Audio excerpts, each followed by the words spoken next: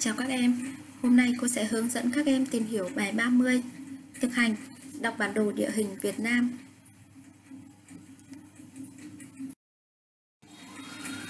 Nội dung của bài thực hành ngày hôm nay yêu cầu các em sẽ dựa vào các bản đồ địa hình để tìm hiểu về sự phân hóa của địa hình nước ta từ Tây sang Đông theo vĩ tuyến 22 độ Bắc và sự phân hóa của địa hình từ Bắc vào Nam theo kinh tuyến 108 độ Đông.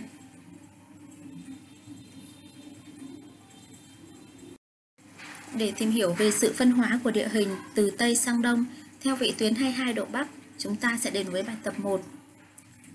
Các em sẽ dựa vào hình 28.1 trang 103 và hình 33.1 trang 118 trong sách giáo khoa hoặc tập bản đồ địa lý lớp 8 ở các trang 22, 23 và 27. Hãy cho biết đi theo vĩ tuyến 22 độ Bắc từ biên giới Việt Lào đến biên giới Việt Trung ta phải vượt qua A. Các dãy núi nào B. Các dòng sông lớn nào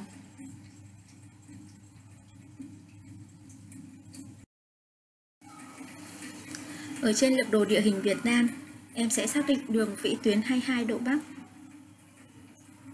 Và đọc bảng chú giải, chúng ta sẽ thấy dãy núi sẽ có ký hiệu là những đường nét đậm màu đen. Như vậy, từ Tây sang Đông, trên đường vĩ tuyến 22 độ Bắc có các dãy núi như sau dãy núi Pu Đen Đinh, dãy núi Hoàng Liên Sơn, dãy núi Cánh Cung Sông Gâm, dãy núi Cánh Cung Ngân Sơn và dãy núi Cánh Cung Bắc Sơn. Ở lược đồ hình 28.1 trong sách giáo khoa thì người ta thể hiện là dãy núi Cánh Cung Bắc Sơn không cắt qua đường vĩ tuyến 22 độ Bắc.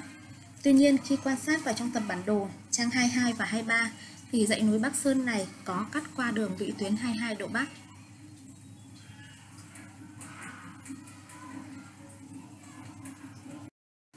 Đi theo vĩ tuyến 22 độ Bắc, từ biên giới Việt Lào đến biên giới Việt Trung, ta phải vượt qua các dòng sông lớn, đó là sông Đà, sông Hồng, sông Chảy, sông Lô,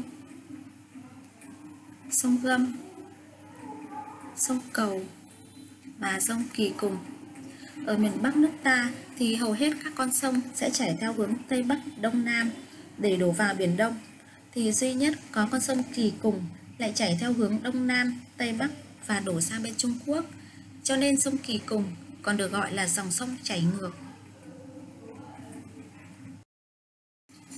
Để tìm hiểu về sự phân hóa của địa hình từ Bắc vào Nam theo kinh tuyến 108 độ Đông, chúng ta sẽ đến với bài tập 2.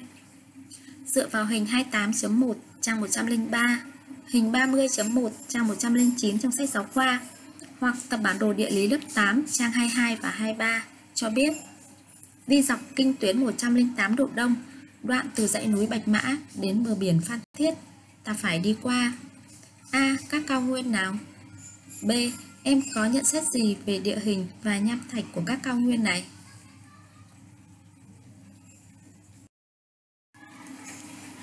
Dọc theo kinh tuyến 108 độ đông, đoạn từ dãy núi Bạch Mã cho đến bờ biển Phát Thiết, chúng ta sẽ đi qua các cao nguyên như sau.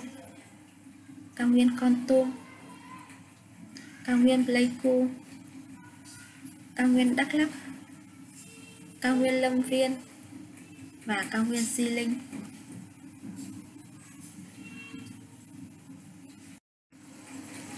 Nhận xét về địa hình và nham thạch của các cao nguyên.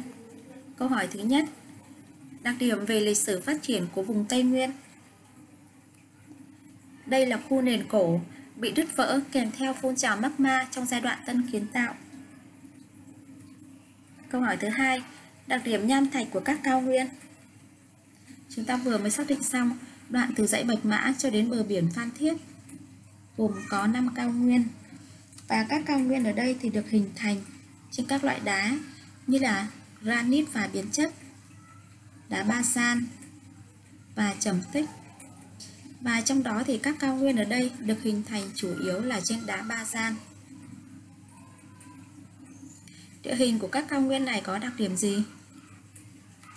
Do các cao nguyên ở đây có độ cao khác nhau nên được gọi là cao nguyên xếp tầng. Với sườn dốc đã tạo nên nhiều thác lớn ở trên các dòng sông ví dụ như là thác Cam Ly, thác Ren hay là thác Pông Hua.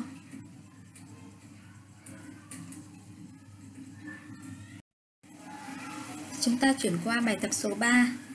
Dựa vào hình 28.1 trang 103 trong sách giáo khoa hoặc tập bản đồ địa lý lớp 8 trang 22, 23, 20, 21 và cho biết A. Quốc lộ 1A từ Lạng Sơn tới Cà Mau vượt qua các đèo lớn nào, thuộc tỉnh, thành phố nào. B.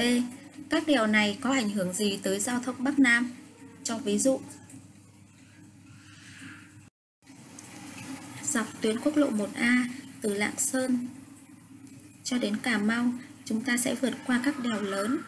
Đó là đèo Sài Hồ thuộc tỉnh Lạng Sơn, đèo Tam Điệp thuộc tỉnh Ninh Bình, đèo Ngang đây là ranh giới tự nhiên giữa tỉnh Hà Tĩnh và tỉnh Quảng Bình. Đèo Hải Vân, đây cũng là ranh giới tự nhiên giữa tỉnh Thừa Thiên Huế và thành phố Đà Nẵng. Đèo Cù Mông, đây là ranh giới giữa tỉnh Bình Định và tỉnh Phú Yên. Và đèo Cả là ranh giới giữa tỉnh Phú Yên và tỉnh Khánh Hòa.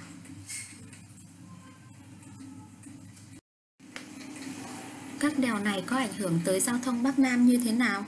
Nó làm chậm tốc độ và dễ gây tai nạn giao thông đường bộ. Gây ách tắc giao thông trong mùa lũ do hiện tượng đất trượt và đá lở. Cho ví dụ, chúng ta có thể lấy ví dụ tại đèo Hải Vân. Đây là đèo có độ cao rất lớn, sườn dốc chênh vênh bên bờ biển phía đông. Và hiện nay thì hầm Hải Vân đã được xây dựng và nhờ đó thúc đẩy mạnh mẽ giao thông Bắc Nam.